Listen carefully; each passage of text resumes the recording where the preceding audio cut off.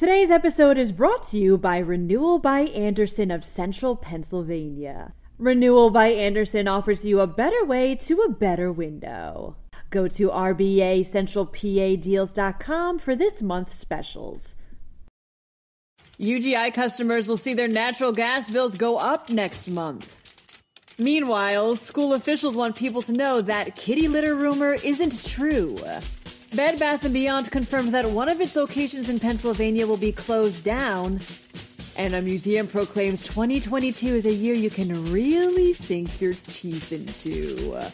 I'm Claudia Dimuro, and you're listening to Today in a PA.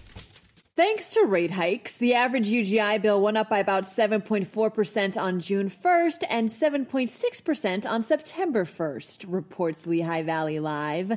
And since the Pennsylvania Public Utility Commission approved yet another rate hike last week, UGI customers will now see their natural gas bills go up by roughly 6.2% between October 29th and October of next year. This bump is actually lower than what UGI initially requested, which was a nearly 10% increase. On average, people can expect their heating bills to go up by $4.44. UGI is projecting another increase on December 1st. It was rumored that schools in the Homer Center School District had put kitty litter boxes in bathrooms to accommodate students who identified as cats, reports Pittsburgh's Action News 4. School officials would like everyone to know that, similar to a separate hoax that took place at a New York school, those claims are not true.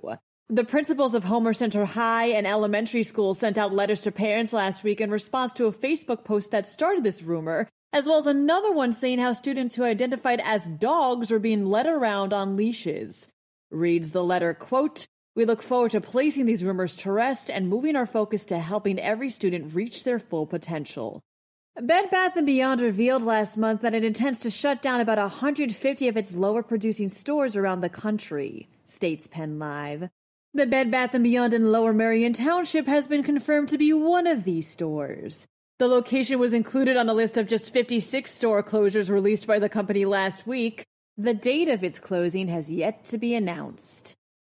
The Mütter Museum in Philadelphia has deemed 2022 as the year of Dracula, says Penn Live. It's been 125 years since Bram Stoker's famous novel about the blood-sucking count was first published, and the museum would like to recognize this anniversary with a series of vampire-esque events. This includes a new exhibit exploring signs of vampirism in corpses, a dramatic reading of Dracula in a graveyard, and vampire themed movie nights. For more information, click on the link in this podcast's related article, and don't forget to eat a ton of garlic before you attend, just in case. That wraps up today's episode. For even more news, drop by pennlive.com. And please don't forget to rate this podcast and to share it around with family and friends. Thanks ahead of time, and as always, thanks for listening.